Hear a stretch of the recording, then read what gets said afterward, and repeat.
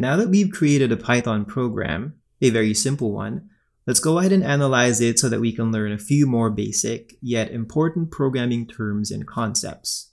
So what we are looking at here in the code editor is our program's source code. To give a very simple definition, source code refers to the collection of all the instructions that make up a computer program. A program's source code is written by a programmer in a specific programming language. In this case, we are using Python. In this very simple program, the source code contains just one line. This line can be referred to as a statement. To be more specific, it is a simple statement. In Python, a simple statement is an instruction that is contained within a single logical line. The simple statement that we have here contains an instruction to print the phrase hello world using the print command. In Python, the print command tells the computer to output the value that is written inside the parentheses. It will not send the value to a paper printing machine, rather it will display it on the screen. So now let's go down to the next line and let's add another statement that contains another print instruction. Let's say print how are you today.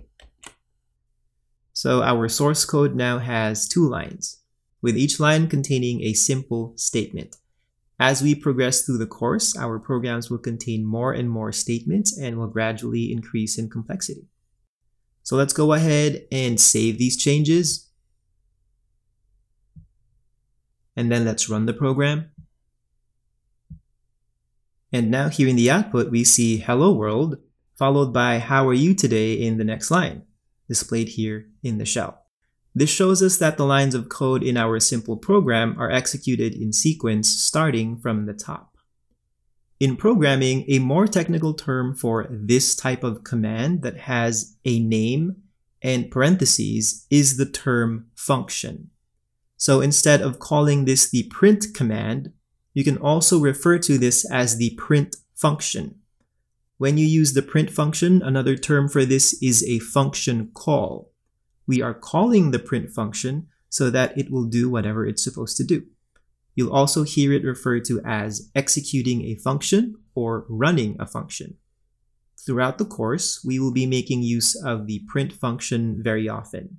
When we write the sample programs for all the different lessons that we will be having, we will need a quick and simple way to display the output of those programs. And we can do that using the print function. So to end this segment, here is a summary of the important points that were discussed. Source code refers to the collection of statements that make up a computer program. A simple statement is an instruction that is contained in a single logical line. And finally, the print function can be used to output a value to be displayed on the screen.